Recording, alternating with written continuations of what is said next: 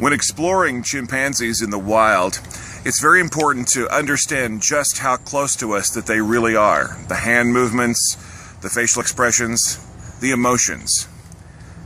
Let's take a look, for example, at uh, the recent interaction between Chad and a lowland chimpanzee.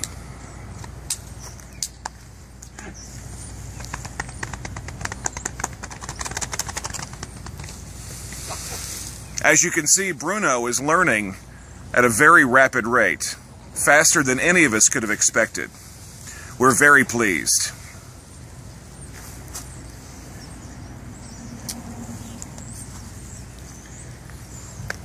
Well, we were very pleased. We've been working extensively with Bruno on condition response therapy. Get down. Well, let's take a look and see how far Chad has come. We're using food as a means of getting him to do what we need him to do. It's it's a way to train him to be, you know, able to work with this. Boy. I mean, these are banana chips. Come on. Bruno, come on. Bruno, get down. Bud. Hurry that. Stupid chimp. Well, as you can see, the banana shouldn't be dehydrated. Well, we've been working extensively with Bruno. We mentioned earlier about the similarities between primates and man, and uh, this particular chimpanzee, well, he's learned quite a great deal, but I think he understands the actual similarities between him and us. As a matter of fact, uh, Spencer, he's got the keys. who's got the keys?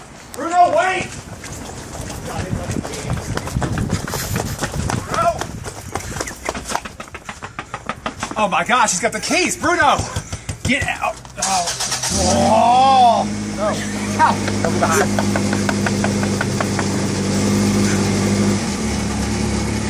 Oh my lord. Call the police. Oh my gosh. We taught Bruno. We taught Bruno about prisms, but I don't think I think he misunder I think he misunderstood. We didn't mean prisms that have four wheels.